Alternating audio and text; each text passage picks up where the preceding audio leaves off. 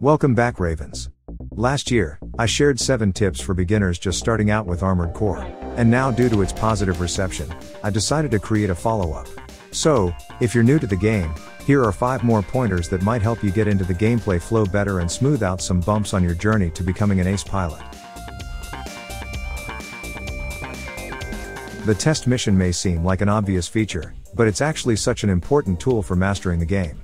Before diving into the main campaign, take some time to test your loadout and familiarize yourself with the capabilities of each weapon and your general AC performance, be it speed, lock-on range, or any factor you consider important. The in-game descriptions can be a bit limited sometimes, so experimenting in the practice environment can give you a good understanding of how the different elements of your loadout work together. Additionally, it's an opportunity to find out what suits your playstyle better, letting you try out your arsenal without the looming threat of an expensive balance report waiting for you at the end. Pay attention to the mission briefing. Before each job, you'll be given a detailed overview of important information such as its main objectives, the enemies you'll encounter, and the environment in which you'll be deployed. For the most part, this can give you a clear understanding of what to expect and help you to prepare accordingly. If the assignment takes place in an open space, you should anticipate encountering fewer buildings to use as cover. And if the mission objective is to protect something, it's crucial you get there in time to stop it from being destroyed.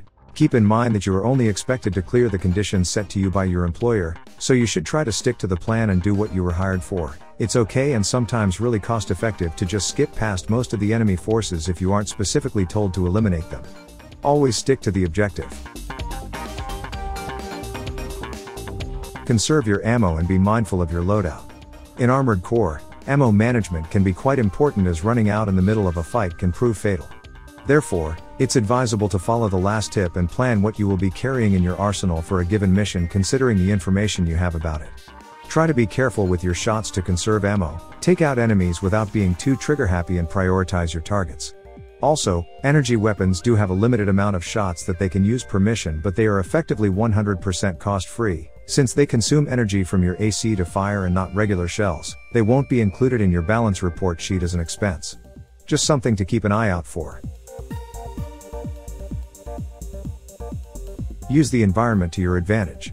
The different areas in the game have a variety of features such as cover, elevation, and narrow passages that you can use to your benefit.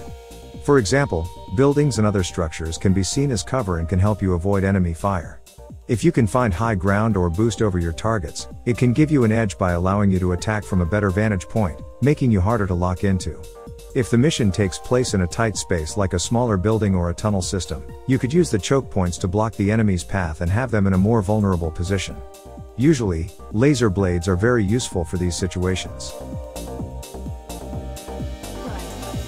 Don't ignore the radar. Be it from a head part or from a dedicated back part, the radar provides a wealth of real-time information that can help you navigate the mission.